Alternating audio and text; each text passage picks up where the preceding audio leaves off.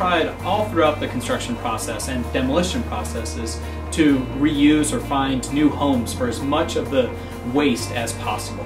We received a call through our donation line from Abe Kruger, the homeowner of this building. Um, he had a conversation about uh, his renovation upcoming. We talked through what materials he thought might be available.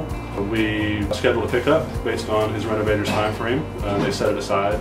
Our real goal in this process is to not slow down the construction process. The kitchen cabinets, the kitchen countertops, the refrigerator, the kitchen sink, bathroom sink, and then a couple of doors. All of those materials that normally would end up in a landfill, we will be donating to the Lifecycle Building Center, a local nonprofit here in Atlanta that will actually resell the materials and find them new homes. Appreciate your comments about the material. Let's uh, take a look at what you have. Definitely. So over here I've got the refrigerator, which is actually relatively new, and we've got it on wheels for you. The rest of the materials are in the room over there. Just now. Oh, this looks great, Dave. The doors uh, free of cracking and chipping. Sinks are in great condition. Everything looks usable. Right? Happy to have it. Thanks again for the call. Excellent. So we do offer to remove materials. We also offer to pick them up on a limited basis. And so we're here at the invitation of the homeowner to come and get the usable material. Uh, so we can take it back to our warehouse in Southwest Atlanta where we resell it at very deep discount to fund our mission uh, centered around building material reuse and uh, waste reduction, uh, resource efficiency.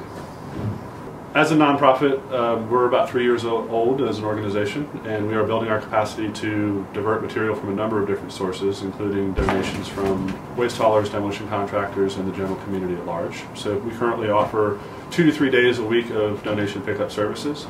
Somebody has something good and usable that they are welcome to bring it down to our facility anytime we're open. We will offload the material, provide a tax deductible receipt. We encourage you to come down to our uh, facility, check out what we're up to. Uh, directions and information are on our website, as well as a donation criteria form, which spells out what we commonly accept and importantly some of the things we don't take. Um, and we would love to have people come by and see what we're up to.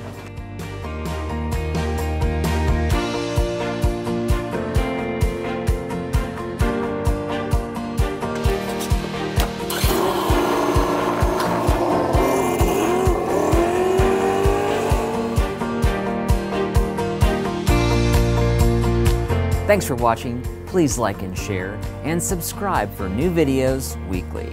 The GreenShortz Greenhouse, uncovering what makes a greenhouse green.